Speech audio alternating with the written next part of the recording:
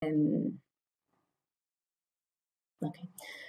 Buongiorno, uh, buongiorno, a tutti, eh, io sono Sabrina Nano, per Formez vi do il benvenuto uh, a questo webinar, che è il secondo webinar del, organizzato nel ciclo Dati territoriali, strumenti per migliorare l'accesso all'utilizzo dei dati. Eh, il webinar fa parte di un ciclo di, di quattro webinar, il precedente si è svolto il 16 giugno, eh, quello, che ci, cioè quello che ci apprestiamo a realizzare oggi. Il eh, successivo è il 21 luglio, al quale è già possibile registrarsi eh, su Eventi PA è in pianificazione che verrà eh, realizzata a settembre per concludere questo, questo ciclo di, di, webinar. I webinar sono eh, realizzati come attività del progetto Informazione e Formazione per la transizione digitale e per l'attuazione del progetto eh, Italia Login, la casa del cittadino, che Formez PA realizza per, per conto di, di, Agid. L'obiettivo del, del, progetto è quello di eh, migliorare eh, la, la, conoscenza e le opportunità eh, offerte dall'utilizzo dei servizi digitali che le pubbliche amministrazioni possono mettere a disposizione dei cittadini. Quindi eh, i destinatari di queste attività sono sia le pubbliche amministrazioni che erogano i servizi con l'obiettivo che possano eh, migliorarli sempre più, sia eh, i cittadini che in questo modo possono acquisire la consapevolezza di quali sono le opportunità dell'utilizzo dei servizi eh, messi a disposizione eh, dalle pubbliche amministrazioni. Ehm, il ciclo di, di webinar, il primo, il primo, webinar che si è svolto il 16 giugno, eh, trattava dei, dei, dei, metadati, della qualità dei metadati eh, per una migliore fruibilità dei dati chi, la, chi, l'avesse perso ha la possibilità di rivederlo perché eh, il webinar registrato è disponibile nella pagina eh, del webinar su Eventi.pa e su Eventi.pa verranno eh, promossi, e, pubblic- promossi, i prossimi webinar e verranno pubblicati i materiali, mh, mm, i materiali relativi. Eh, il webinar di oggi eh, si focalizza sulla, eh, sull'interoperabilità tra i cataloghi, il catalogo RNDT, il catalogo dati.gov.it e quindi eh, sul profilo di metadatazione che consente questa interoperabilità fra, fra i cataloghi. Eh, gli interventi che si susseguono sono di Gabriele Ciasullo, eh, per l'Agenzia per l'Italia Digitale, Andrea Perego che è l'editor del profilo GeoDKP 2.0 e eh, Antonio Rotundo dell'Agenzia per l'Italia Digitale che eh, farà un approfondimento sulle modalità di interoperabilità tra i due cataloghi RNDT e dati.gov.it. Eh, noi ci auguriamo che questo webinar possa essere utile per voi, quindi eh, vi chiediamo di, di partecipare, di eh, segnalare eventuali domande nella, nella, chat che poi noi eh, proporremo ai relatori. E a questo punto chiedo a Gabriele di attivare la, la sua webcam e gli cedo la parola per iniziare eh, questo webinar. Grazie Gabriele. Eccoci.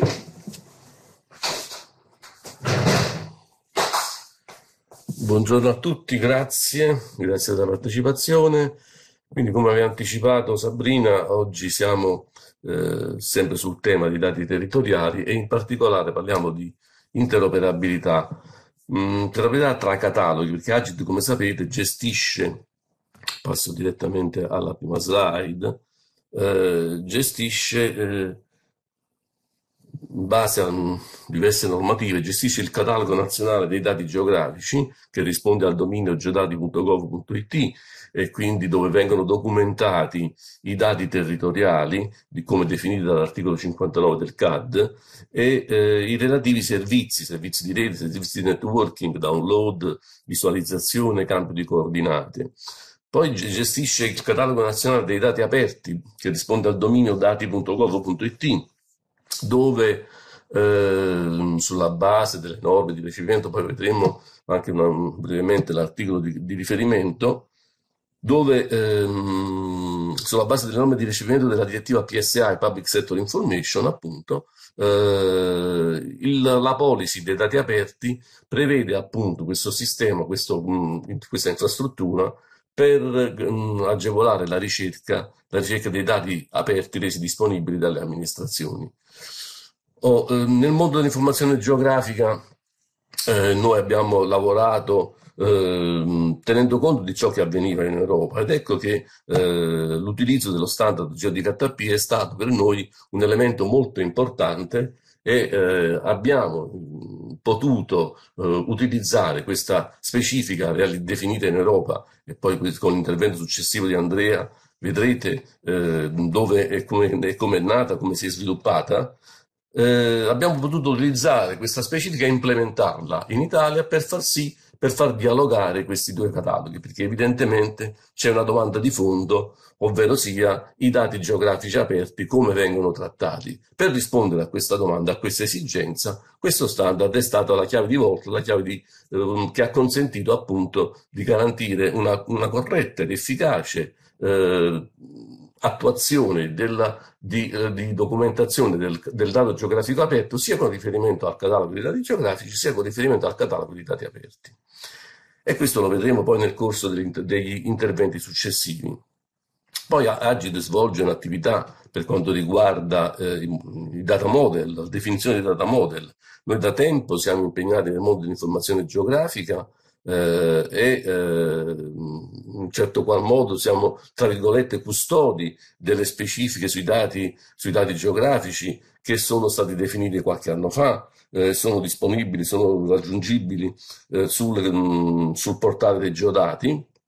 E ultimamente insomma, abbiamo con le amministrazioni interessate, con le amministrazioni competenti per dominio, abbiamo potuto definire il modello dati del SINFI ovvero il Sistema Informativo Nazionale Federale delle Infrastrutture, gestito dal MISE, ma basato sul modello dati coerente con le regole nazionali nel mondo dell'informazione geografica, in particolare i database geotopografici, e coerente con le regole INSPIRE, riguardante quelle tipologie di informazioni. Lo stesso abbiamo fatto eh, con eh, Enea per la gestione dell'illuminazione pubblica. Anche qui noi abbiamo realizzato un eh, data model coerente con le regole nazionali e coerente con le regole Inspire ehm, sulla base delle esigenze che appunto Enea ha messo in campo e noi abbiamo tradotto queste esigenze per la definizione di questo data model. Quindi l'abbiamo fatto con le amministrazioni titolari del dominio e oggi queste due infrastrutture sono due realtà che eh, diciamo, hanno mh, mh, due testimonianze di una interoperabilità concreta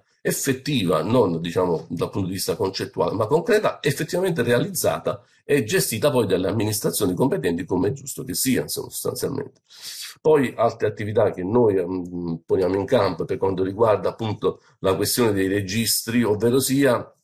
per la gestione dei vocabolari controllati. È evidente che no, nelle nostre attività eh, il tema interoperabilità racchiude sempre un'importanza un, un particolarmente rilevante e quindi questo sistema di registro, anche in questo caso preso in prestito, eh, realizzato sulla base di quanto eh, diciamo, sviluppato nell'ambito europeo, in particolare da GRC, nell'ambito del work program di AISA, e anche in questo caso noi abbiamo ritenuto opportuno introdurre formalmente questo strumento che ci potesse consentire eh, di, ehm,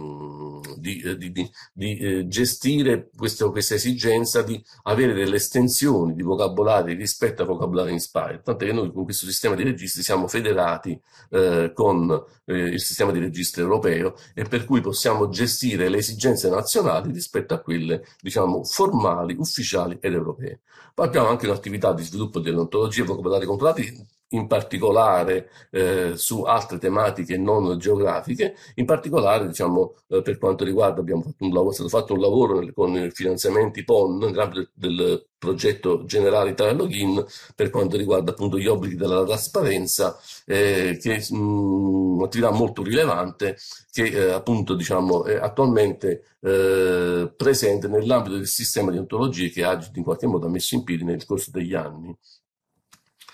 Oh, dicevo, eh, i punti cardini dell'attività che, che, oggi ci riguardano, appunto parlando di interoperabilità dei cataloghi, eh, le due normative di riferimento per quanto riguarda quindi il catalogo dei dati eh, aperti, mh, diciamo, mh, che la norma assegna a, a, ad Agid, attu attualmente è l'articolo 9 del decreto legislativo 36-2006, eh, dove si evidenzia due aspetti. Uno, che eh, la finalità di ricerca, quindi i cataloghi servono per cercare risorse disponibili eh, nelle amministrazioni sono, eh, che gestiscono quelle stesse risorse naturalmente. Poi l'altro aspetto molto importante è il termine riutilizzo, perché in effetti stiamo mm, parlando di eh, policy di open data e quindi dove il riutilizzo costituisce una fase essenziale della, dell'applicazione di questa policy, cioè non basta soltanto rendere i dati disponibili, ma bisogna guardare al fatto che questi dati possano essere e poi vengano a essere effettivamente riutilizzati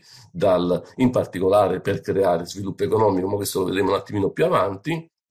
eh, lo stesso dicosi per quanto riguarda i dati territoriali. Eh, la gestione del catalogo dei dati territoriali nasce eh, dall'articolo 59 del CAD. Anche in questo caso eh, è previsto appunto diciamo, il, principio in base al quale esiste questo catalogo, è appunto quello di agevolare la ricerca, eh, in questo caso dei dati territoriali, non solo aperti ma di tutti. E poi, poi qua nasce quello che poi vedremo più avanti, l'esigenza appunto di come gestire i dati ge geografici aperti. No? Quindi questa ehm, alla base del, del, di questo teorema che in qualche modo ci ha consentito poi di implementare e diciamo dare eh, corso a, a, allo standard GeoDKP e quindi garantire interoperabilità tra i due cataloghi. Oh, um, nel frattempo, appunto, sul mondo dei dati aperti, un richiamo importante, appunto, mh, quello che ci viene dall'agenda digitale europea, laddove in uno dei pilastri fondamentali, quello relativo al digital single market, era prevista appunto un'azione specifica, apertura dei dati pubblici per il loro riutilizzo. Quindi anche in questo caso è molto chiaro, è molto evidente questo aspetto del riutilizzo eh, e quindi l'obiettivo che si poneva l'agenda digitale europea, mh, che adesso insomma, la cui azione poi trova poi sbocco negli ulteriori programmi europei, l'ultimo insomma, in ordine di tempo è il DEP che dovrà partire, sta in partenza in questo ultimo periodo. L'obiettivo quindi è creare le condizioni più favorevoli per lo sviluppo di servizi eh, e quindi che possano contribuire alla crescita economica, quindi alla creazione anche di lavoro. Quindi è molto evidente il legame tra politica di open data e il riutilizzo per finalità economiche, il riutilizzo per finalità commerciali, tant'è che nella direttiva PSI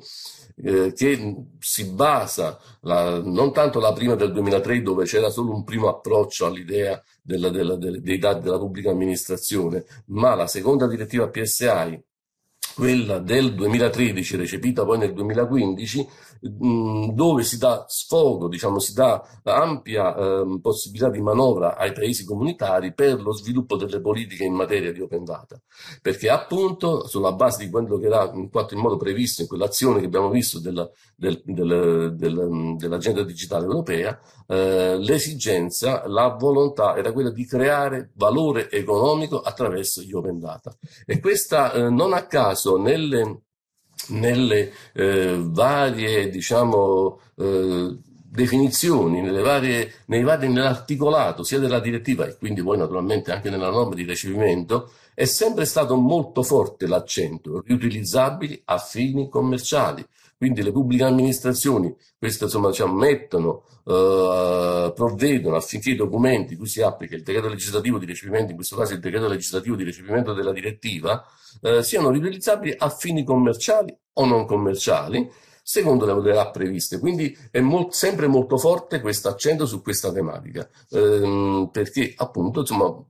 l'intendimento è non solo quello di principio generico di trasparenza, dove ci sono poi tutta una serie di norme che gestiscono la a partire dal FOIA, dal, dal decreto legislativo 33, sono tutte queste norme che riguardano la trasparenza in senso stretto. Qui si voleva dare un accento molto particolare appunto alla finalità di crescita economica che poteva, che poteva in qualche modo essere generata attraverso i dati della pubblica amministrazione. La stessa la definizione di utilizzo è molto evidente, è molto evidente che viene ribadito con il concetto delle finalità commerciali, come è molto evidente il tema che quindi si apre, apre lo scenario ad un'altra policy sui dati della pubblica amministrazione. Lo scambio di documenti tra enti pubblici esclusivamente in adempimento dei loro compiti di servizio pubblico non costituisce riutilizzo, ma in questo caso parleremo di condivisione dei dati tra pubbliche amministrazioni per finalità istituzionali, che è un altro delle policy fondamentali sui dati della pubblica amministrazione per puntare all'efficacia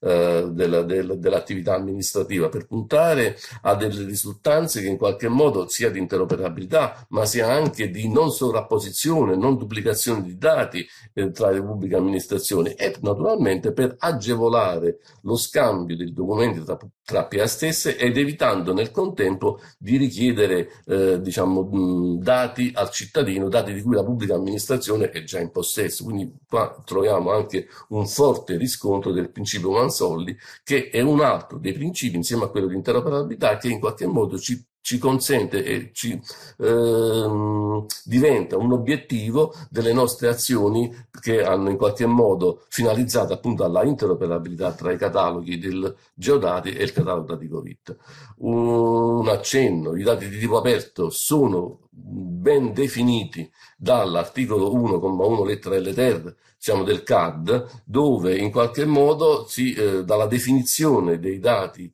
eh, di tipo aperto ehm, si evince appunto la sussistenza di tre, questi tre requisiti, quello giuridico, quello tecnologico e quello economico. Quindi insomma da questi tre requisiti mh, la coesistenza di questi tre requisiti genera appunto i dati di tipo aperto. Quindi gli open data sono eh, quei dati che rispondono a questi tre requisiti. I dati geografici naturalmente è una particolare tipologia di dati che, al di là poi della sua rilevanza che adesso vedremo,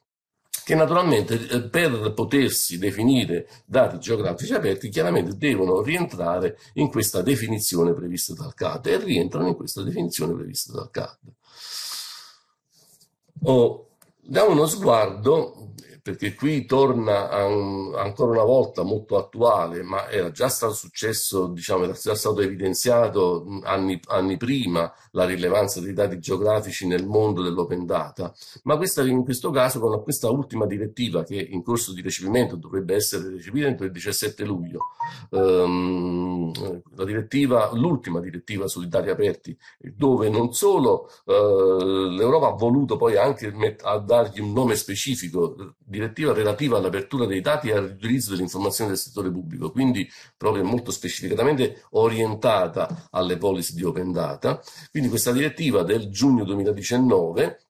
attualmente in corso di recepimento reca alcune novità rispetto al passato, quindi una più ampia e dettagliata esposizione dei dati la, per i quali la direttiva trova applicazione, l'estensione dell'ambito dell'applicazione della, della direttiva stessa, quindi l'estensione della policy di open data eh, a delle imprese di servizio pubblico, in particolare per quanto riguarda i settori del trasporto, dell'acqua e dell'energia, eccetera, una più articolata disciplina delle procedure per il trattamento delle richieste di riutilizzo, perché in effetti l'open data si baserebbe anche sulle richieste di riutilizzo, non solo quindi un'azione proattiva delle amministrazioni di rendere disponibili i dati e renderli, esporli sui propri siti web e renderli disponibili eh, a tutti, ma ci sta anche la possibilità ed è disciplinata, lo era già prima, adesso è stato ulteriormente diciamo, rafforzato questo concetto nell'ultima direttiva, ma sottolineo era già così, è già così già da, dal 2015 sostanzialmente, eh, c'è questa diciamo, diciamo, modalità di eh, richiesta dei dati da parte degli interessati alle amministrazioni titolari, le quali poi devono, hanno diciamo, dei tempi, una procedura prevista, è specificatamente prevista per dare riscontro alle esigenze dei richiedenti. E poi c'è una particolare attenzione ai dati in tempo reale, ovvero ai dati dinamici, e, eh, e poi ehm, l'estensione ai dati finanziati con fondi pubblici e mh, mm, riportato, ma insomma diciamo eh, nella direttiva eh, c'è una definizione ben precisa, ben chiara dei dati dinamici, poi ci potrebbe essere qualche dubbio, ma sicuramente non ci sono dubbi per quanto riguarda i, i dati del, dei, dei, dei, sensori, che sono sicuramente dati dinamici. Eh, e anche qui c'è stata una richiamo ai formati disponibili dove appunto i dati dinamici vengono messi in evidenza e devono essere resi disponibili, eh, possono essere attraverso API API, ma eh, nel caso anche tramite un download in blocco, quindi insomma attraverso uno, uno scarico dei dati non, non necessariamente con, tramite API. Eh, un altro elemento di particolare importanza, e qui siamo insomma alla fase eh, dove il mondo dell'informazione geografica viene posto in evidenza queste serie di dati di elevato valore. Eh, qua la direttiva anche qui è molto chiara, eh, le serie di dati di elevato valore non vengono individuate dai Paesi membri, non vengono individuate da qualcuno, insomma, no, in base ad una norma nazionale, ma è previsto un atto di esecuzione, quindi un atto europeo, dove viene stabilito l'elenco di queste specifiche serie di dati tratti che, appartenenti a queste macro categorie elencate nell'allegato 1 della direttiva stessa. Quindi non è che ci sta un'azione da qualche parte per poter definire questi dati di elevato valore, ma vengono definiti a livello europeo attraverso una procedura che si chiama di comitologia o comitatologia. Eh, anche qui c'è una definizione de, di questi dataset di elevato valore. Anche qui c'è un approccio diciamo, che dice che questi dati di elevato valore vengono messi a disposizione per il riutilizzo in formato leggibile meccanicamente tramite API o nel caso tramite download di blocco, la stessa stregua come i dati dinamici. O eh, naturalmente ehm, c'è ehm, un, nel, nelle declaratorie, nelle premesse della direttiva, c'è un richiamo a questa esigenza no? sui dati di elevato valore e quindi a un'esigenza di coordinamento tra le varie politiche sui dati. E ancora una volta qui la necessità di interagire, di garantire una interoperabilità tra i cataloghi, in particolare per questo per quanto riguarda appunto la questione, il tema della, della metadatazione di cui Agid è diciamo, responsabile. E quindi anche questo è un elemento per noi di particolare rilevanza che, eh, diciamo, da cui prendiamo le mosse per lavorare appunto sull'applicazione dello standard CODKP come abbiamo fatto. Eh, questo vabbè, c'è un accenno sulla procedura di comitato come eh, è gestita a livello normativo, a livello europeo. Eh, volevo mettere in conclusione, eh, un accenno su um, questo documento di strategia europea per i dati, eh, dove sono evidenziate delle criticità eh, a cui bisogna eh, tenere, eh, cui bisogna far fronte, a cui l'Europa chiede di far fronte nei prossimi, nei prossimi anni, eh, tra cui insomma, questo il, il tema dello squilibrio in termini di potere di mercato e il tema di governance dei dati penso che siano quelle più significative con le criticità più significative a cui bisogna in qualche modo ottemperare. Eh, gli squilibri in termini di mercato significa che naturalmente inondando il web di una serie di dati è evidente che noi dobbiamo chiaramente favorire l'accesso alle piccole e medie imprese perché evidentemente di fronte ad una mole enorme di dati magari sono avvantaggiate le major, quindi no, faccio qualche nome, ma insomma riconosciamo tutti che eh, avendo diciamo, risorse tecnologiche, eh, economiche, magari possono utilizzare al meglio i dati che vengono messi a disposizione, non vengono messi a disposizione a favore di tutti, però è chiaro che il piccolino, chi ha meno potenzialità operative, risulta svantaggiato in tutto questo. E il altro tema specifico, è secondo me molto importante, è la governance dei dati e sulla base di questo di questo aspetto eh, nel definire appunto insomma nel proporre un'azione per quanto riguarda la definizione della strategia italiana dei dati abbiamo in qualche modo voluto evidenziare eh, la necessità di eh, creare un organismo nazionale per la gestione e il coordinamento dei dati in Italia. Quindi questo organismo dovrebbe essere composto da una serie di attori nazionali istituzionali diciamo che in qualche modo devono guardare un po' tutti gli aspetti dei dati per quanto riguarda riguarda l'aspetto giuridico, economico, sociale, gli impatti, le normative specifiche, quindi tutta una serie di attività che possono, potrebbero essere gestite in modo adeguato ed opportuno da un, da un nucleo ben determinato che opera dire, eh, quotidianamente su queste tematiche con, poi con le amministrazioni titolari dei dati che di volta in volta oggetto di attenzione. Io diciamo, vado alla conclusione, grazie per la partecipazione e mh, poi ci saranno eventualmente delle domande a cui eventualmente potremo rispondere, non so se c'è già qualche cosa. Eh, grazie Gabriele, no ancora non sono, non sono arrivate domande, quindi io chiederei ad Andrea Bene. Perego di attivare la sua webcam, eh, così abbiamo anche il suo intervento. E vi ricordo, ricordo a tutti i partecipanti comunque che se volete porre delle domande potete utilizzare la chat e poi i relatori risponderanno successivamente. Grazie Andrea. Ok, grazie Sabrina e grazie per l'invito a questo webinar. Eh, buongiorno a tutti. Eh, eh, Gabriele ha già introdotto in parte GeoDKTP, quindi ehm, sono qui per fornire un po' più di dettagli, eh, specialmente perché eh, una nuova versione è stata pubblicata circa un anno fa e quindi eh, c'è stata un'evoluzione, almeno in questo ambito. Um, passando alla prima slide. Ok. Diciamo che lo scopo principale di GeoDKTP è già stato introdotto da Gabriele. Eh, è stato sviluppato per essere un ponte tra eh, diciamo, il mondo dei dati geografici e in particolare l'infrastruttura Inspire e eh, il mondo degli open data, che hanno eh, due piattaforme diverse, usano standard differenti e tecnologie differenti. Quindi in sostanza eh, quello che ehm, è stato fatto eh, è di cercare di fornire una rappresentazione dei metadati geografici che seguano ehm, le metodologie e le tecnologie del semantic web e eh, nel momento in cui ehm, l'intenzione era quella di sviluppare un ehm, sistema per garantire la possibilità di condividere eh, metadati geografici tra le piattaforme Open Data e quelle geografiche eh, si è utilizzato uno standard di riferimento eh, chiamato DKTP, infatti il nome GeoDKTP deriva da questo, che eh, sostanzialmente è un profilo di metadati derivato da uno standard internazionale, il eh, Data Catalog Vocabulary del, del V3C, eh, conosciuto come DCAT, che attualmente è sostanzialmente utilizzato a livello europeo come eh, standard per l'interscambio di metadati eh, tra portali gestiti dagli Stati membri. Um, il lavoro eh, che ha portato il giro di KTP è stato sviluppato nel contesto del programma AISA, eh, è un programma che eh, è iniziato nel 2016 e si è concluso nel 2020 perché adesso sostanzialmente è confluito all'interno del DEP, cioè del Digital Europe Program. Eh, Gabriele ha già menzionato questo, questo programma.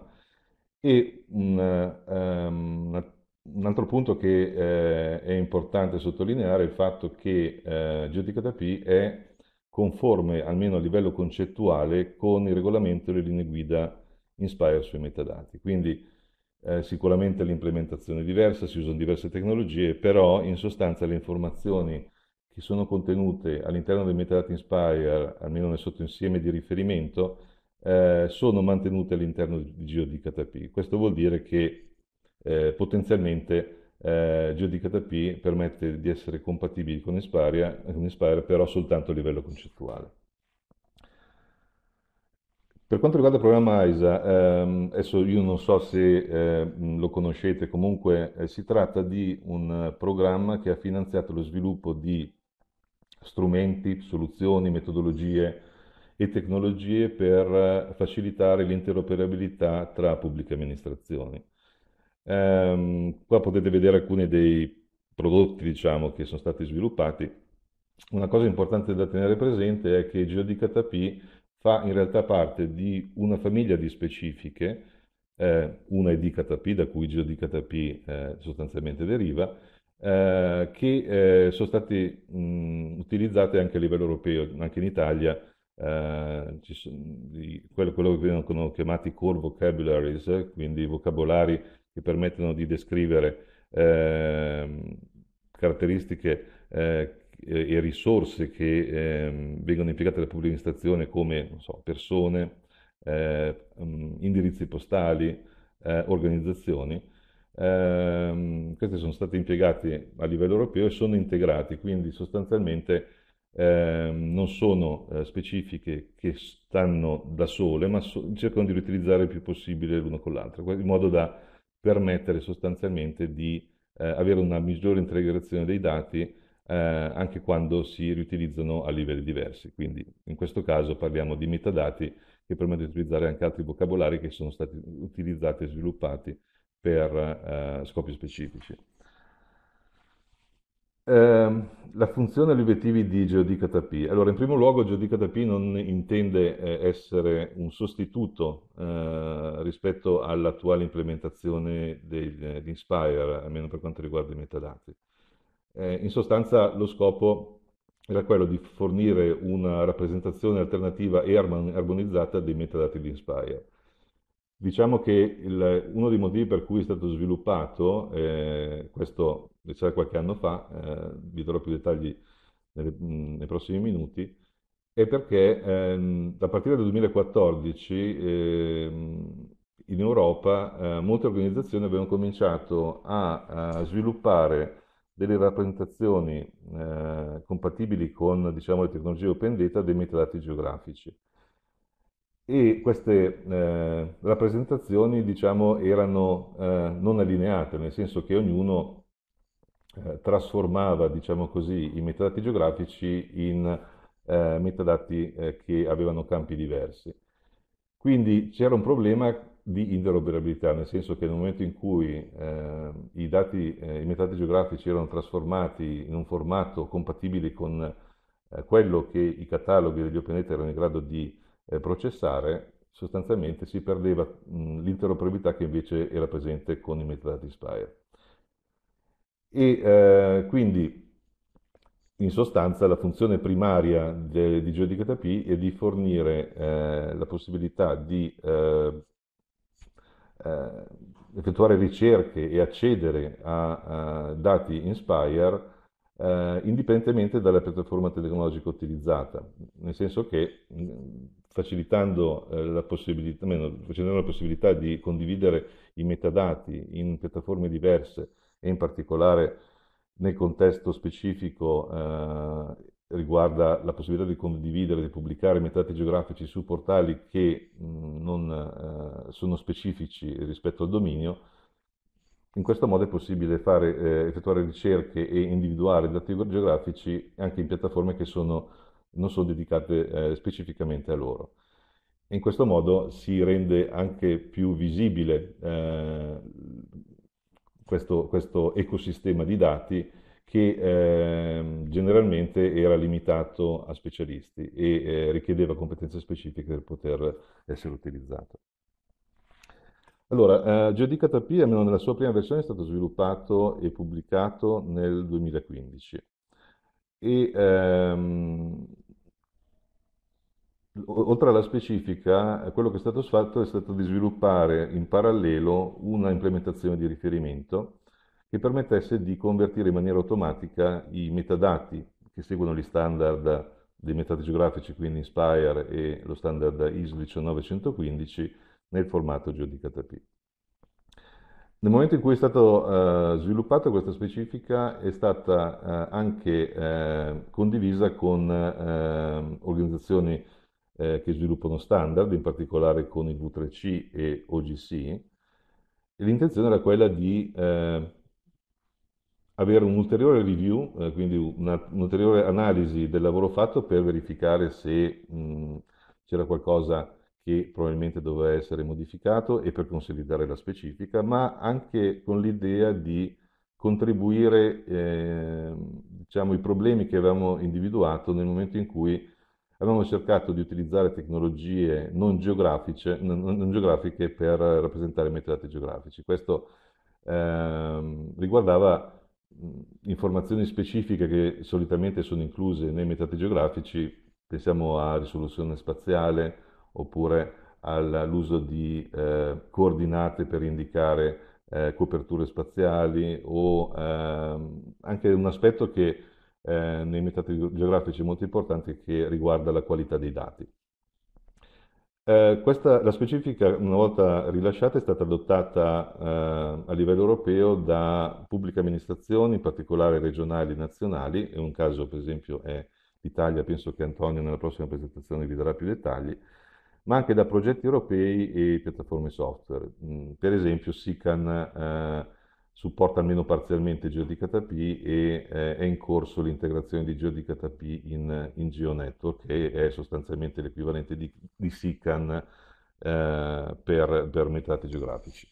I progetti europei eh, hanno utilizzato GeoDKP, ma hanno anche sviluppato diciamo, dei, eh, delle estensioni eh, che si applicano magari ad applicazioni specifiche come l'ambito dei trasporti e ci sono esempi di eh,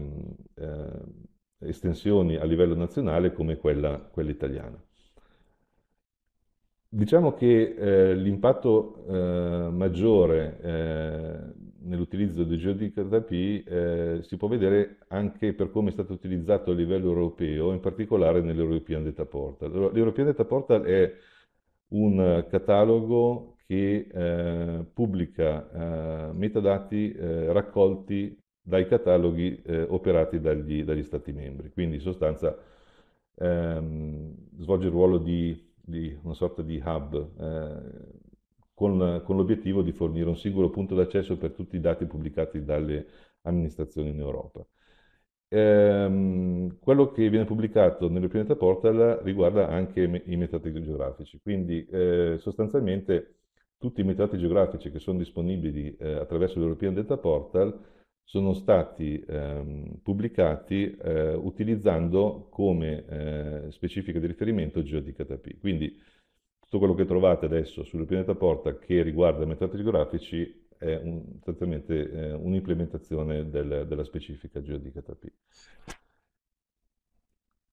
Um, per avere magari più dettagli rispetto all'esperienza in Europa, um, vi posso consigliare magari di, di, di eh, verificare le presentazioni e i video che sono disponibili per un webinar che è stato tenuto nel 2019, in cui sono state presentate almeno alcune implementazioni, quella italiana per esempio, ma anche quella, eh, quella belga, e eh, c'è anche un, un, sommario rispetto alle attività relative ai GeoDKTP eh, all'interno di eh, organizzazioni che sviluppano standard come V3C e OGC. E, um, una cosa da tenere presente e che forse può spiegare un attimino anche eh, l'impiego di GeoDKP eh, come finora ho eh, indicato sono i criteri di progettazione. Allora, quando eh, è iniziato la, lo sviluppo di GeoDKP, ehm, il primo problema che si è posto è eh, di capire quale doveva essere il sottoinsieme di metadati eh, o di elementi eh, all'interno degli, degli, standard di riferimento, quindi parliamo di Inspire e dell'ISO 19115, che doveva essere tenuto in considerazione. Il problema è che questi standard sono molto ampi e eh, quindi bisogna capire qual era la soluzione più efficace, anche perché l'idea era di sviluppare una specifica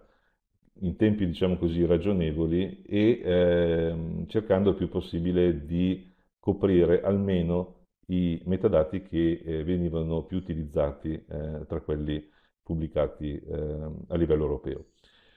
Quindi quello che è stato fatto ehm, è stato di individuare come eh, sottoinsieme di riferimento tutti i metadati Inspire, tranne quelli che sono specifici di eh, ehm, temi particolari eh, all'interno di Inspire, quindi quelli che vengono utilizzati da tutti i metadati, e poi quello che è chiamato il core profile di ISO 19115, che è un sottoinsieme ehm, che in pratica raggruppa i metadati eh, di maggior uso. Una cosa importante da dire è che questo lavoro è stato uno sforzo collettivo, quindi non è la Commissione europea ha coordinato il lavoro, però eh, in realtà eh, la specifica è stata sviluppata da esperti eh, che hanno partecipato volontariamente al gruppo e che rappresentavano Stati membri e organizzazioni di qualsiasi livello, quindi locali, regionali e, e nazionali. Quindi in sostanza quello che abbiamo in GeoDKP è un riflesso dei requisiti eh, identificati a livello europeo eh, per, per l'organizzazione di metadati. Un altro aspetto da tenere presente è, è una cosa che era fondamentale, è di limitare il più possibile l'impatto sui eh, sistemi esistenti, perché come dicevo precedentemente, eh, i metodi geografici utilizzano una piattaforma completamente diversa rispetto a quella usata per gli open data, usano eh, standard, linguaggi e tecnologie differenti, quindi il problema che eh, si era posto è noi possiamo anche sviluppare questa specifica, però il problema è che eh, dobbiamo capire come si può implementare nell'infrastruttura esistente senza eh, creare, eh, diciamo così, un impatto negativo. Quindi in sostanza l'obiettivo era quello di eh, fornire un'implementazione di riferimento che potesse essere impiegata al di sopra di un'infrastruttura esistente, per trasformare i metadati geografici che seguono appunto gli standard Inspire ISO 19115 nel formato GeoDKTP. E l'implementazione di queste regole di trasformazione è stata fatta con un linguaggio che non è vincolato a una specifica tecnologia, quindi lo vedete qui XSLT, eh, che per, in pratica può essere eh, impiegato eh, utilizzando sostanzialmente qualsiasi linguaggio di programmazione. Passando alla nuova versione, ehm, il motivo per cui è stata sviluppata è mh, che dal 2015 al 2020 molte cose sono accadute e una di queste è stato che gli standard di riferimento di GeoDKTP, in questo caso parliamo di DKTP e del vocabolario relativo eh, che è, è, lo standard V3C eh, chiamato Data Catalog Vocabulary, sono cambiati. In particolare hanno integrato eh, aspetti che ehm, erano di solito eh, specifici dei metadati geografici. Uno di questi, per esempio, è la possibilità di descrivere eh, servizi o API eh, all'interno di un catalogo. Allora, eh, questa nuova versione di GeoDKTP è stata pubblicata eh, nel dicembre 2020 ed è compatibile con la versione precedente ehm, ed è anche allineata con l'ultima versione delle linee guida Inspire sui metadati. Come dicevo, il motore principale è stato quello di allineare GeoDKTP con le nuove versioni di DKTP e del eh, W3C Data Catalog Vocabulary. E una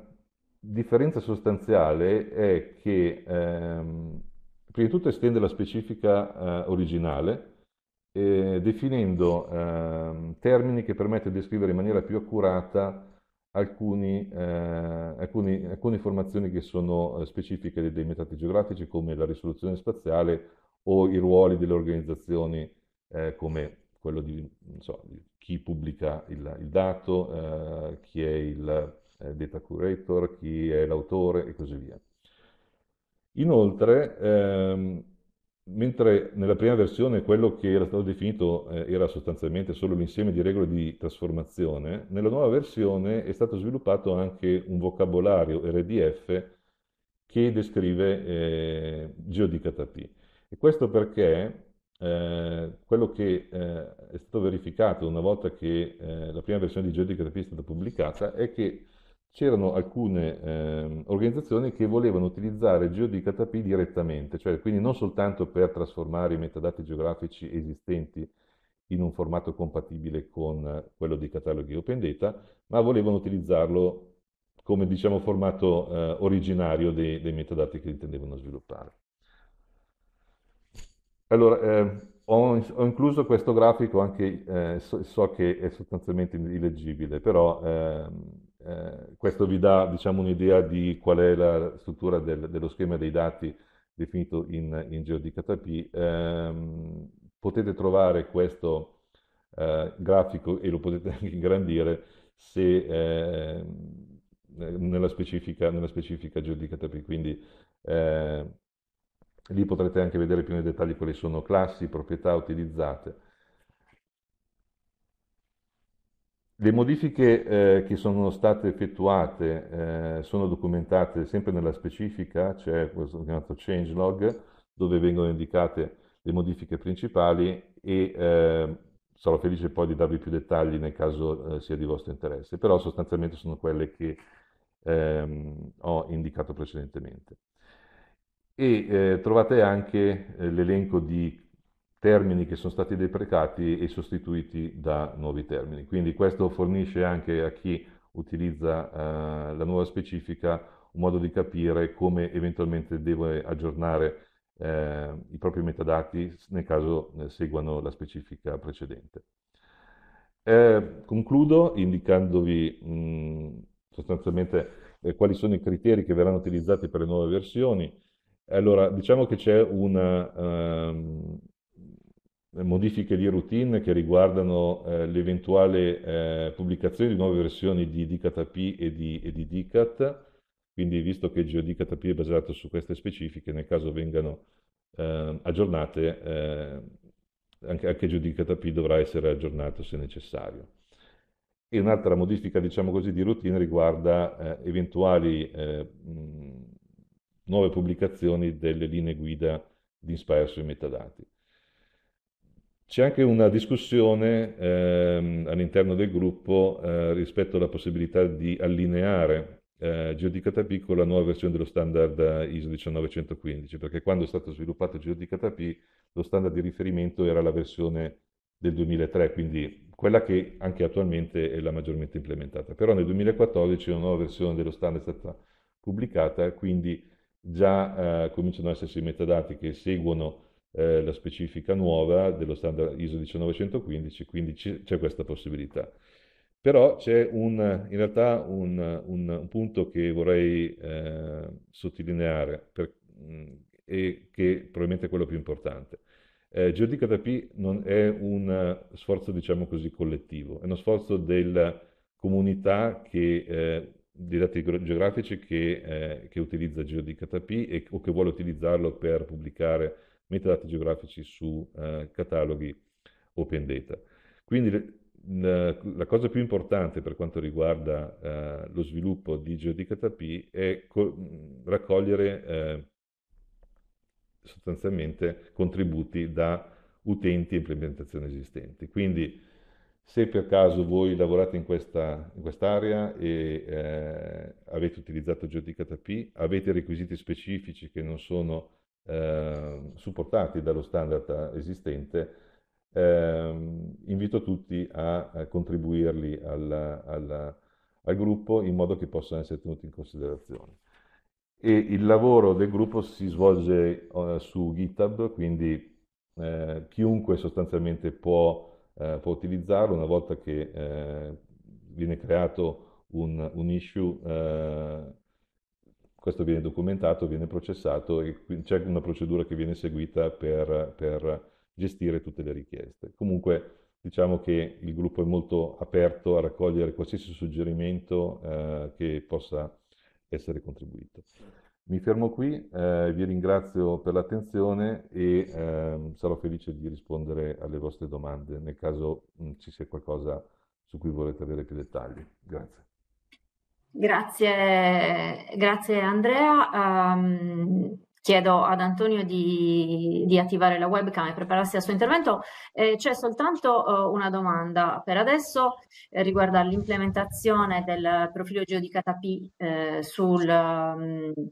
eh, per le amministrazioni regionali, ma uh, direi che possiamo rispondere al termine del, dell'intervento di Antonio in maniera tale da avere una visione insieme su, su tutti gli aspetti. Eh, grazie Antonio, cedo la parola. Eh, grazie Sabrina, buongiorno a tutti. Allora, con quest'ultima parte del, del, webinar vediamo eh, come declinare quanto detto da Gabriele e, da, e come declinare e come è stato declinato diciamo, quanto detto da Gabriele e Andrea a livello eh, operativo. E quindi ci occupiamo ehm, dell'interoperabilità tra due cataloghi gestiti a livello nazionale, come diceva Gabriele, da Agid, quindi dati aperti e dati territoriali.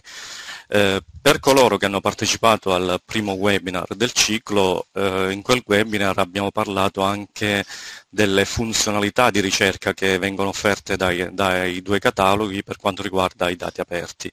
Nel repertorio, quindi catalogo dei dati territoriali, c'è eh, possibile ricercare i dati aperti basandosi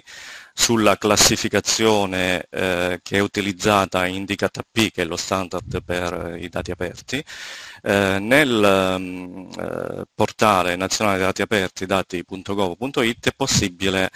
eh, cercare i dati aperti basandosi sui cluster tematici eh, definiti nell'ambito Inspire che poi si basano sui temi eh, Inspire. Questo è il risultato del frutto appunto della implementazione di quello che diceva Andrea e Gabriele, cioè dell'implementazione di GeoDKP nei due cataloghi eh, nazionali. Ehm, e questo vediamo eh, poi in queste slide come è stato possibile e cosa viene richiesto e forse si risponde pure alla domanda di Francesco Gleria, come, cosa viene richiesto alle amministrazioni eh, di, di, fare per eh, allinearsi a questa indicazione, a questo approccio. Eh, era, è stato già detto nelle, nelle mh, presentazioni precedenti, i dati aperti e i dati territoriali per quanto riguarda i metadati seguono due standard diversi. DKP eh, per i dati aperti eh, e poi noi a livello nazionale abbiamo eh, alcune estensioni ri rispetto al profilo europeo e quindi abbiamo il profilo nazionale di GataPT. Per quanto riguarda i dati territoriali, il profilo eh, che è applicato in Italia è il profilo relativo al repertorio nazionale dei dati territoriali che include tutti gli elementi definiti nel, nel core di, di, ISO, cioè il set minimo di metadati che ISO richiede di documentare per dare una eh, descrizione completa de, de, del dato e ovviamente include anche ehm, i metadati definiti nell'ambito di, di, Inspire. Eh, ovviamente anche, eh, oltre, oltre, anche ad alcune estensioni proprie del profilo nazionale. Eh, sulla base di questi profili le amministrazioni descrivono i propri dati eh, in, nei due portali, quindi dati aperti basandosi su DKPT in dati.gov.it e i dati territoriali basandosi sul profilo Inspire RNDT in, nel, in RNDT. Eh, per i dati territoriali aperti eh, abbiamo riscontrato in questi anni, e credo che in molti casi si continui ancora adesso, eh, che vengono descritti o solo in Datigov, in questo caso si perdono eh, diverse informazioni che eh, sono specifiche del profilo di metadati di, di Inspire NLT e in più quel dato sfugge diciamo, al, al, monitoraggio Inspire, quindi al monitoraggio della Commissione europea per quanto riguarda l'applicazione della direttiva Inspire, che si basa proprio eh, sui dati presenti nei cataloghi nazionali dei dati territoriali. In altri casi sono documentati eh, lo stesso dataset che è quindi un dato territoriale aperto viene documentato eh, nei due cataloghi e in molti casi queste descrizioni non sono allineate per cui una volta si aggiorna un una, una, descrizione in un catalogo ma non si aggiorna contemporaneamente la, la, relativa, la corrispondente descrizione in dati.gov.it. Eh, capite bene che questo rappresenta una criticità eh, soprattutto per l'utente che poi deve capire quel dato che cos'è e, e, se effettivamente può utilizzarlo e se effettivamente risponde agli, agli scopi per cui sta cercando quel, quel dato. Eh, proprio per superare queste criticità e mh, grazie alla, alla, alla mh, disponibilità di, della specifica europea che era stata definita nel 2015, come diceva Andrea, ehm, nei vari piani triennali, nelle varie versioni di piano triennale che si sono succedute dal 2017, cioè il piano triennale per l'informatica nella pubblica amministrazione, sono state inserite eh, specifiche azioni eh, per la definizione di eh, una guida operativa per l'implementazione in Italia di GeoDKP e eh, per l'implementazione vera e propria eh, relativamente all'integrazione dei due cataloghi. E eh, l'altro obiettivo che eh, era ehm, definito, diciamo, nella, nella, che era insito in questa azione presente nel piano triennale era che eh, le eh, amministrazioni si dovessero poi adeguare a questo approccio. Eh, questo per evitare poi, come vedremo dopo, eh, gli oneri derivanti, cioè un doppio onere derivante da una doppia descrizione in entrambi i cataloghi e così via. Dicevo che eh, nel fine 2017, proprio eh, in, come in, implementazione del, delle azioni del piano triennale è stata definita una uh, guida operativa, una linea guida per l'implementazione di GeoDKP in Italia eh, che è attualmente in corso di aggiornamento proprio perché dobbiamo adeguarci all'ultima versione di GeoDKP, eh, dobbiamo adeguarci all'ultima versione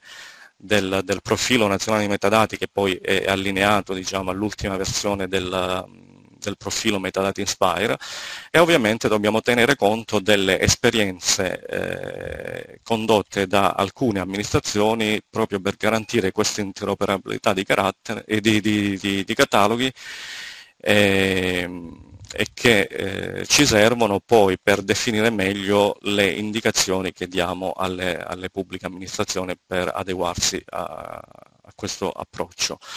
In queste linee guida quindi eh, definito, sono state definite le regole su come eh, procedere per documentare i dati territoriali che sono contestualmente anche aperti e quindi la, la regola principale è che quel dato va eh, documentato esclusivamente nel repertorio nazionale che poi provvederà, e, e lo fa ormai da, da qualche anno, eh, provvederà a rendere disponibili quei dati aperti anche nel portale nazionale dati aperti attraverso appunto l'implementazione di GeoDKTP. Ehm, perché utilizzare GeoDKTP, lo ha detto ovviamente Andrea nella sua presentazione, dal punto di vista operativo diciamo che alcuni metadati del eh, il set di metadati per i dati territoriali è un set di metadati più esteso rispetto a, a DKTA eh, AP, per cui un um, sottoinsieme dei metadati del repertorio andrà a, um, corrisponderà diciamo, a quello che è definito eh, al set definito in DKT, che poi eh, era il profilo core definito nella versione precedente di GeoDKTP. Eh, tutti gli altri metadati dei, dati territoriali eh, definiti nel profilo nazionale che non hanno una corrispondenza con DKP sono comunque eh, offerta comunque una codifica eh, RDF in modo tale da avere una rappresentazione, come diceva Andrea, alternativa dei metadati eh, di dati e servizi territoriali eh, e quindi nel primo caso, cioè se considero il profilo cosiddetto core, quindi il set di metadati eh, territoriali che ha una corrispondenza con l'indicata PT, quello mi servirà per eh, garantire l'integrazione tra i due cataloghi e quindi rendere disponibili quei dati anche eh, nel catalogo dei dati aperti per la, per la ricerca appunto. Nell'altro caso io ho la possibilità di avere comunque una rappresentazione alternativa de, de, di tutto il set di, dati, di metadati dei dati territoriali. Questa attività ovviamente ha richiesto, come diceva Andrea, un'attività un di mapping sia per i singoli elementi di metadati, per cui per, per ogni metadato eh, relativo ai dati territoriali c'è una corrispondenza dove è possibile ovviamente con il profilo di KTP, altrimenti è stata definita una, una, codifica RDF ad hoc basandosi, come diceva Andrea, comunque sempre su vocabolari controllati, eh, controllati eh, già esistenti. È stato fatto un lavoro sempre coordinato nel, da, nell'attività diciamo, coordinata da, da, Andrea Perego, anche di mapping tra vocabolari controllati e quindi tra liste di valori, perché come sapete per documentare mh, i, i, metadati dei dati territoriali eh, viene richiesto in molti casi di fare riferimento o a, o a liste di codice eh, definite in, nello standard ISO direttamente, oppure eh, nell'ultima versione di Inspire eh, sono state introdotti alcune, alcuni registri, alcuni vocabolari controllati che possono essere utilizzati eh, per documentare quei metadati quando prima quei metadati venivano documentati con un testo libero. Eh, quindi c'è stata questa attività di mapping tra vocabolari, per esempio parlavamo all'inizio della ricerca basata sulle classificazioni dei temi per DKTP eh, oppure dei temi Inspire per RNDT eh, e quindi ad ogni, ad ogni tema Inspire è, fa, è, stato fatto corrispondere uno o più temi CAT eh, la stessa cosa è stata fatta anche su, con altri vocabolari e, altri, eh, e altre code list, per esempio quella della frequenza oppure quella de, che è utilizzata per i formati. E questa attività di, di, di, di mapping, così come mh, tutto qua, quello che riguarda l'attività di, di GeoDKP a livello europeo, come diceva Andrea, è disponibile nel relativo repository GitHub di, di, di Semic, citato anche da Andrea. Ehm, però ecco, una domanda diciamo, che ci si pone è come identificare i dati aperti nel, in un catalogo di dati territoriali catalogo di dati territoriali che come sapete non è solo un catalogo di dati aperti ma è, solo, è un catalogo di dati in generale per cui include, può includere sia dati aperti che non aperti. Eh, l'identificazione viene fatta sulla base, ovviamente ci si deve basare sui metadati eh, che vengono forniti dalle amministrazioni titolari e eh, sulla base di questi metadati quelli utilizzati sono ehm, le condizioni applicabili all'accesso all'uso, quindi praticamente la licenza che viene indicata nei, nei metadati dei dati territoriali e eh, nel, nella, nelle linee guida noi abbiamo indicato anche di aggiungere una, eventualmente una parola chiave eh, indichi che quel dato che sta descrivendo è, è anche open data. Um, e questo è l'approccio poi, anche con, con, il confronto che si fa nell'ambito Inspire, è un approccio che viene seguito uh, da, da, più Stati membri proprio perché è, è, basandosi sulle informazioni presenti nei metadati è l'unico che può garantire comunque una certa identificazione. C'è però una criticità perché come vedete nella, nella, nella, nell'XML di esempio inserito nella slide, la licenza, le o meglio le condizioni di utilizzo possono essere documentate o come testo libero o come eh, indicando l'URI della licenza vera e propria. Eh, fino alla, alla, versione precedente delle linee guida Inspire sui metadati e quindi del, del repertorio, il, le, le, condizioni di utilizzo venivano utilizzate eh, venivano documentate attraverso un testo libero. Nell'ultima versione si raccomanda di utilizzare comunque un URI eh,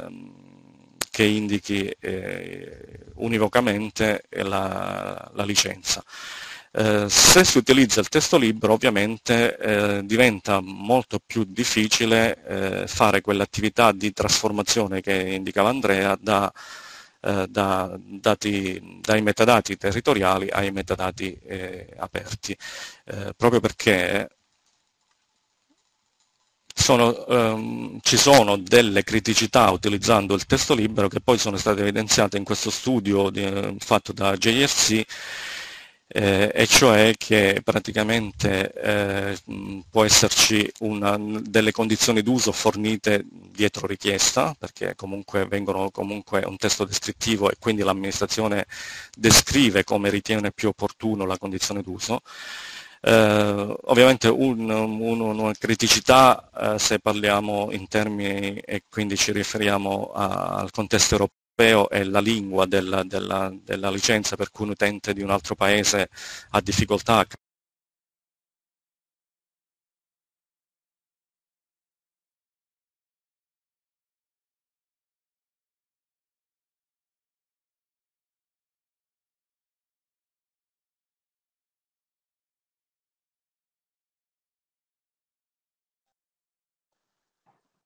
Antonio, il microfono dovresti riattivare. Si sente? Mi sentite? Ah, scusate. Sì, grazie. Sì, stavo dicendo praticamente che eh, utilizzando testo libero per descrivere condizioni di, di, di, accesso e di utilizzo ci sono diversi ostacoli, diverse barriere, diverse criticità eh, che derivano dal fatto che o eh, sono, non sono indicate chiaramente le condizioni di utilizzo o eh, non c'è comunque un link alla licenza e quindi non, non, è possibile reperire tutte le informazioni sulle condizioni o informazioni non accurate oppure un'ambiguità anche nella terminologia e così via. La soluzione a questo è, come vi dicevo prima, è quello di utilizzare degli URI che risolve sia il problema di lingua ovviamente ma anche eh, tutti, tutte le altre criticità in quanto nella licenza sono definite chiaramente le, le, le condizioni. E quindi eh, partendo da questo esempio eh, ho ripreso una slide che abbiamo visto anche nel primo webinar, cioè quello di, di, di utilizzare e quindi di evidenziare la raccomandazione contenuta nelle, nelle linee guida Inspire di utilizzare, ove possibile, eh, i vocabolari controllati invece di te testo libero. C'è un esempio nella slide per quanto riguarda il tema Inspire, per cui può essere indicato come testo libero, ma può essere indicato eh, il, anche questo come, ehm, come URI e quindi eh, facendo riferimento al relativo registro pubblicato sempre da, da Inspire. Eh, questo tipo di criticità si, si hanno anche eh, per altri elementi di metadati, per esempio se pensate al formato, anche quello per Inspire, quindi per ISO 1915 e quindi per il repertorio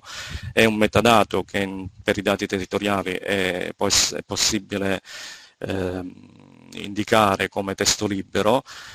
eh, mentre DKP ovviamente utilizza un vocabolario controllato specifico. La raccomandazione di Inspire, che però eh, nelle ultime linee guida è solo una raccomandazione, è quello di utilizzare appunto un vocabolario controllato in modo anche da facilitare questa attività di trasformazione da uh, uno standard all'altro. E proprio in, di, in, tema di vocabolari controllati e quindi di, di registri, eh, lo accennava Gabriele nella sua presentazione, eh, esiste il, è stato implementato a livello europeo ma anche a livello nazionale un sistema di registri eh, che pubblica le, le, le i codici di riferimento del, de, varie, dei vari elementi utilizzabili nell'infrastruttura Inspire, eh, quindi in quello italiano ci saranno le estensioni ai registri eh, definiti a livello di, di, di, Inspire come previsto dal regolamento Inspire sull'interoperabilità di dati e servizi e proprio il sistema di registri vocabolari controllati sarà l'oggetto del terzo webinar che eh, come diceva Sabrina all'inizio si terrà il, il, 21 luglio sempre a partire dalle, dalle 10 e che, a cui è possibile già eh, registrarsi. Eh, analogamente alle attività fatte a livello europeo che eh, accennava Andrea, eh, anche a livello nazionale abbiamo ehm, ehm, sviluppato eh, una API ehm, che si basa e quindi eh, riusa diciamo, quella sviluppata a livello europeo estendendola eh, in quanto mh, per esempio nella, nella, nella, API italiana possono essere, ehm, eh, si può, possono essere inserite delle richieste eh, CSV non solo GET ma anche POST eh, oppure possono essere inserite delle richieste REST eh, che si fanno quindi al catalogo di, di, di, dati territoriali e l'API praticamente trasforma sulla base delle, dei parametri che eh, vengono eh, scelti dal, dall'utente, quindi il formato di output, eh, il tipo di trasformazione, dove per il tipo di trasformazione indichiamo se eh, si vuole ottenere il set di metadati solo relativo a DKP, quindi un set minimo di metadati co coerente con DKP, oppure il, eh, il set esteso,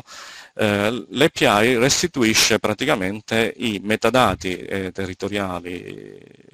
descritti, basati su Inspire e RNDT eh, in formato eh, DKP on, o GeoDKP.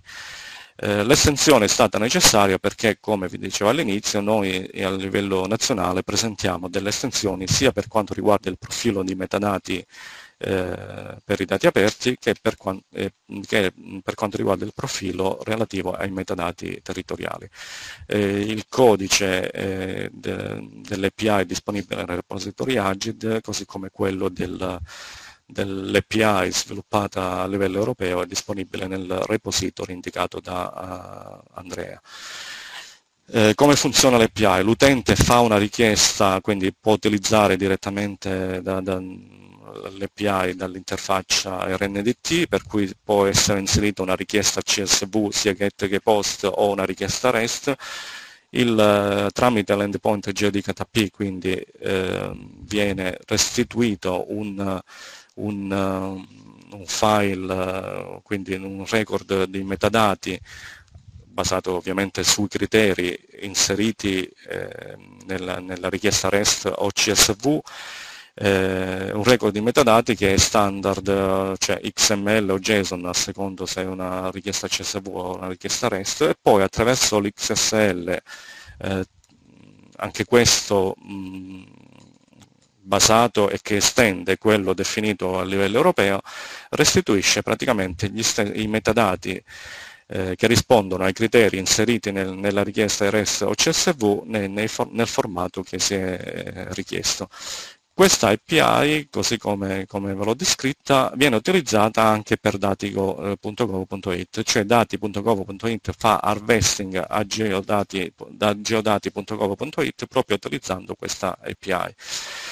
Il portale um, fornisce anche delle funzionalità per definire ehm, per definire diciamo, delle richieste REST eh, qualora ovviamente non si abbiano le, le conoscenze e le competenze per, per scrivere diciamo, diciamo, una richiesta REST, per cui un utente può fare una ricerca di metadati dalla, dalla, dalle funzionalità di, di, ricerca che sono disponibili nel, nel, nel portale, quindi impostando i vari criteri che ritiene opportuno e il portale stesso fornisce poi eh, la corrispondente richiesta REST che poi può essere utilizzata nell'API per attivare tutto questo, questo processo. Ehm, parlavo all'inizio delle regole che sono state definite nelle linee guida ehm, nel, di GeoDKTP eh, nazionali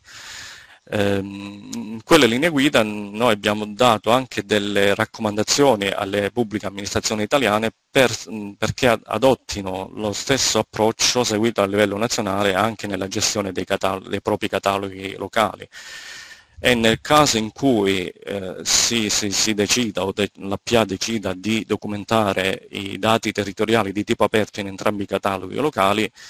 eh, la raccomandazione che potrebbe sembrare banale, ma sulla base delle esperienze che, di questi anni non lo è, è che queste due descrizioni mh, vengano mantenute eh, allineate, per cui se aggiorni i metadati nel catalogo Geo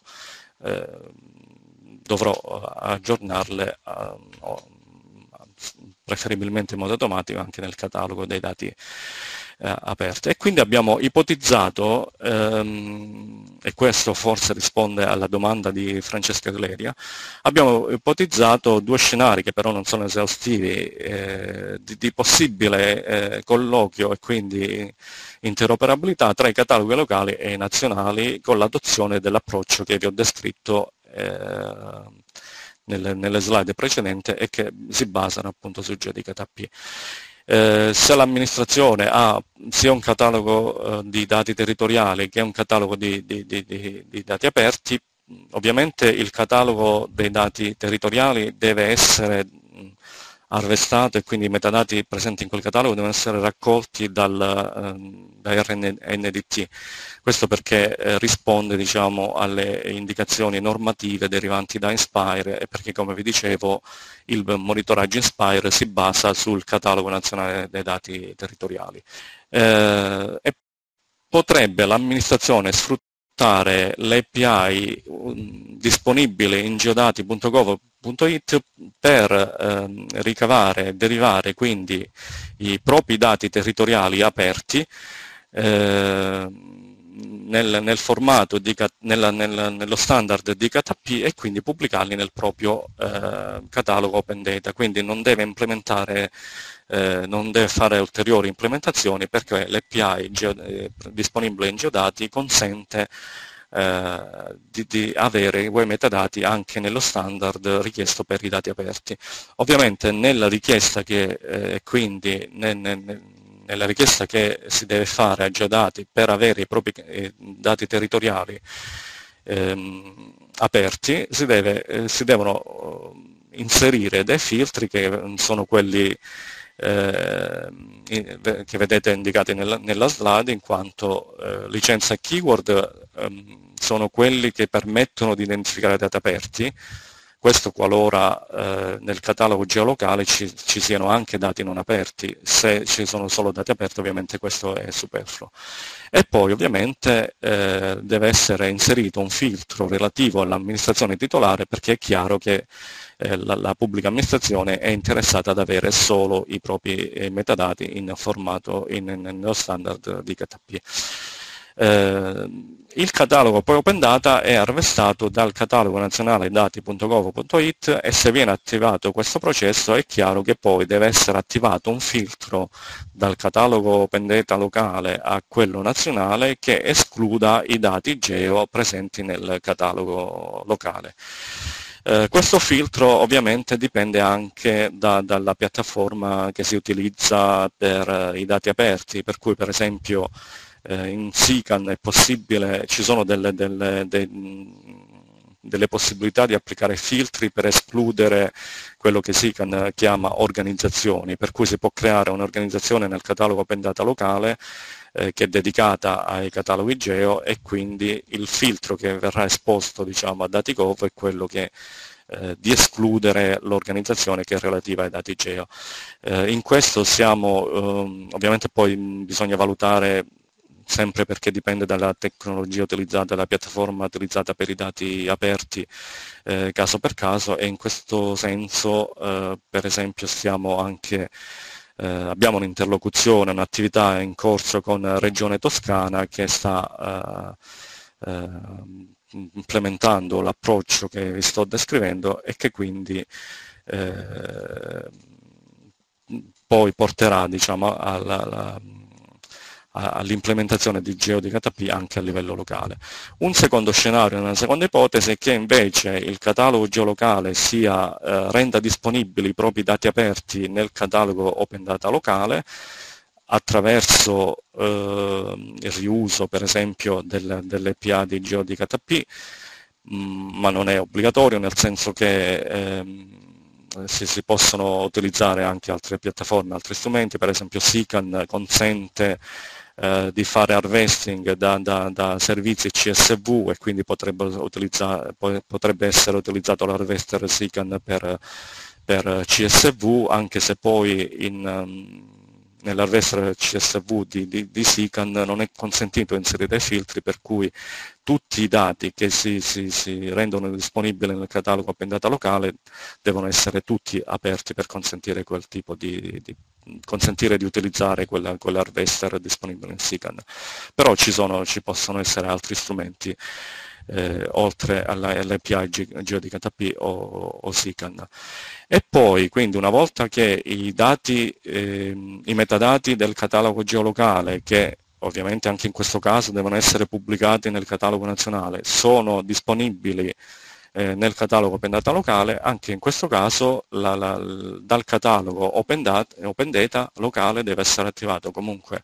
un harvesting attraverso un filtro che eh, è uguale, diciamo, analogo a quello descritto nella, nella slide precedente. Un esempio di come funzione, funziona questo, questi, questo, scenario che vi ho descritto appena adesso è quello che eh, come Italia facciamo verso i cataloghi europei.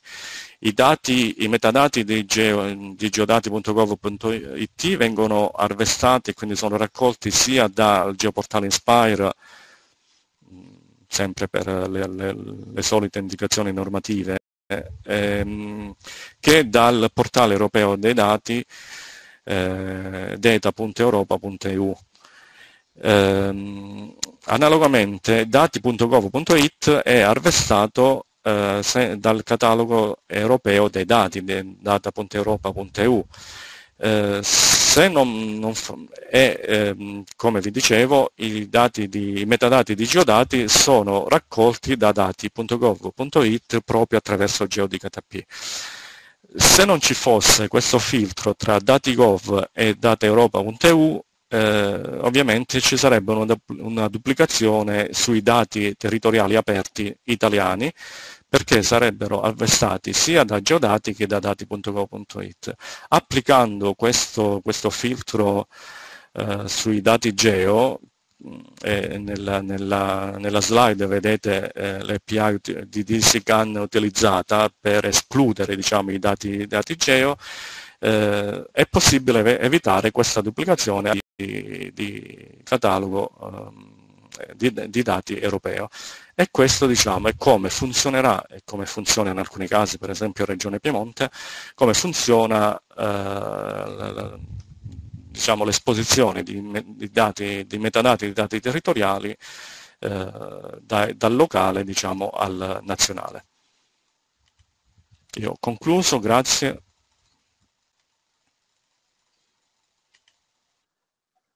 Grazie, eh, grazie Antonio per, uh, per la presentazione. Eh, abbiamo raccolto uh, una serie di domande, probabilmente ad alcune è già stata data risposta nel corso della presentazione di, di Antonio, però chiedo uh, ad Antonio, a Gabriele e a Andrea di riattivare la webcam, eh, rispondere e integrare eventualmente i contenuti le, alle domande che sono, che sono, state poste e poi ci, ci avvieremo alla conclusione. Eh, le, le, domande le trovate? Allora, la prima domanda era quella di Francesca Gleria, eh, credo di aver risposto con le slide, chiedeva praticamente se c'è un servizio che si interfaccia tra le PA regionale e RNDT per adeguarla al GeoDKP. Eh, noi a livello regionale cosa dobbiamo fare e cosa dobbiamo fare attenzione. Eh, quindi lo dicevo nelle ultime slide, praticamente se a livello regionale, come il caso credo di, non credo, di, di, di provincia di Trento, ma di tutte le amministrazioni regionali, se sono disponibili due cataloghi, eh, uno per i dati territoriali e l'altro per i dati aperti, e questi cataloghi comunque eh, il catalogo dei dati aperti contiene anche eh, gli stessi dati o una parte di dati eh, territoriali che sono documentati nel,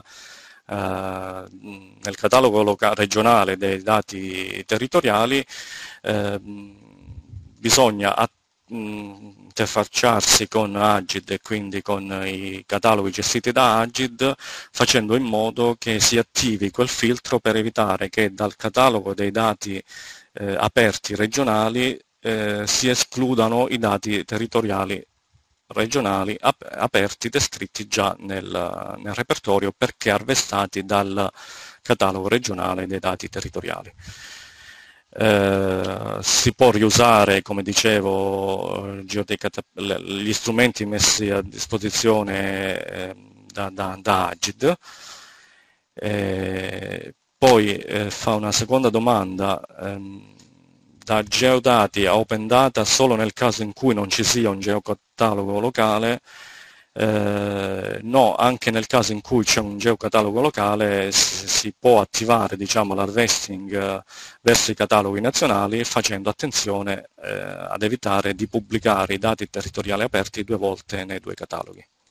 Non so se è chiaro.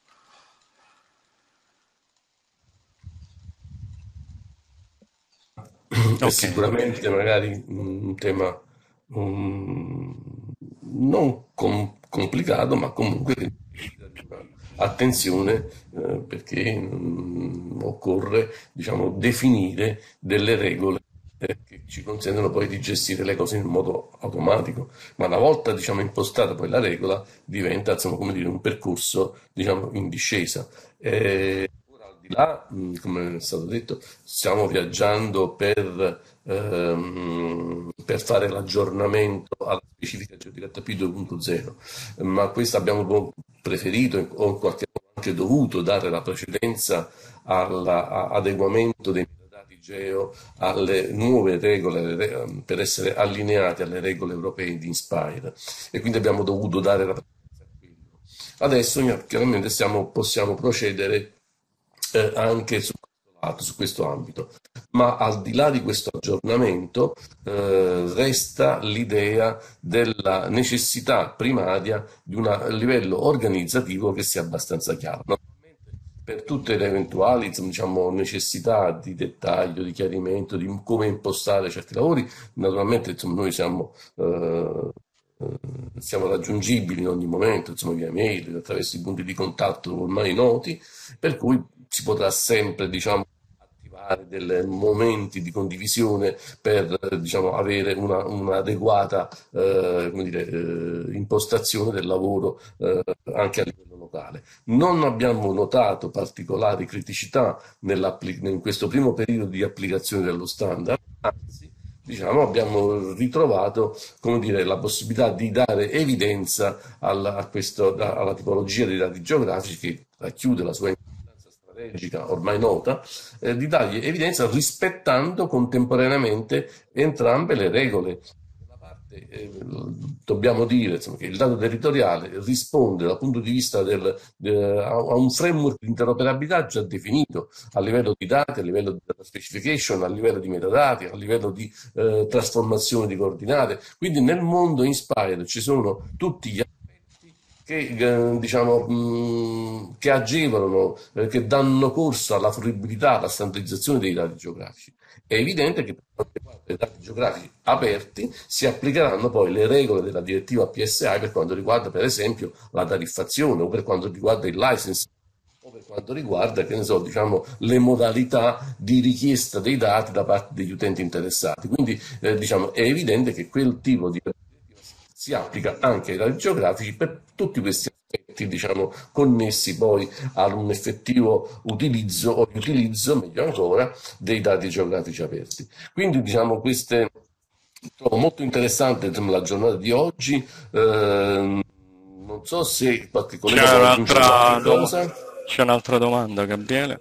Antonio Vica- sì. Vicario chiede in questo scenario come si colloca la modalità harvesting verso un nodo locale Uh, se la domanda è eh, cioè, se il nodo locale è arvestato da, direttamente dai cataloghi nazionali, ovviamente vale quanto abbiamo detto nelle slide. Se invece c'è tra il nodo locale e i cataloghi nazionali c'è un ulteriore nodo, quindi per esempio un catalogo regionale, per cui il catalogo, eh, ed è il caso per esempio della regione toscana, per cui la città metropolitana di Firenze ha un proprio catalogo di, di, di metadati geografici, viene arvestato da, dal catalogo open, da, open data della, della, regione toscana, ovviamente è la regione toscana che poi deve attivare quel filtro per escludere dati geo verso i cataloghi nazionali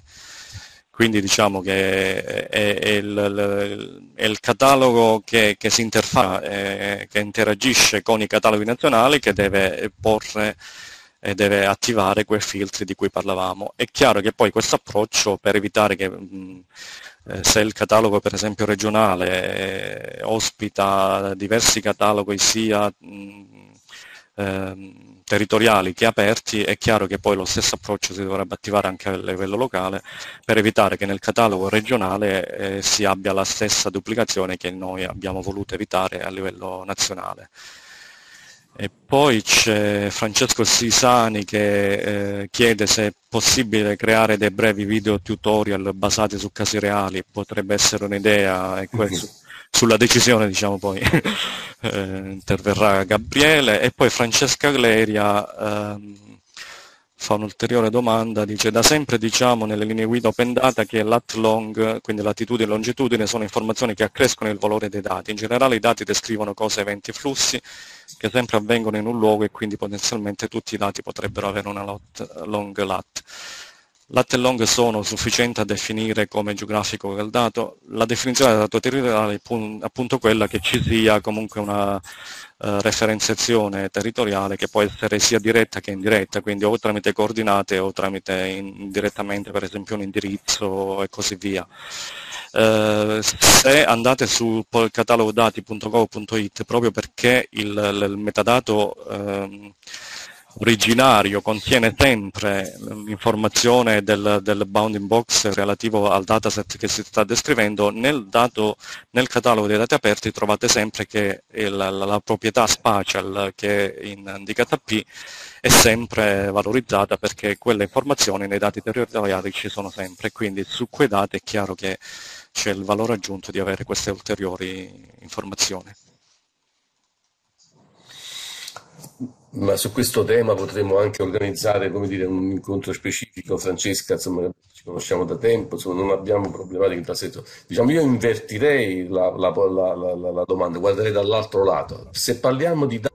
che in qualche modo rientrano nelle, negli annessi della direttiva Inspire, dobbiamo regolarci secondo le regole della direttiva Inspire.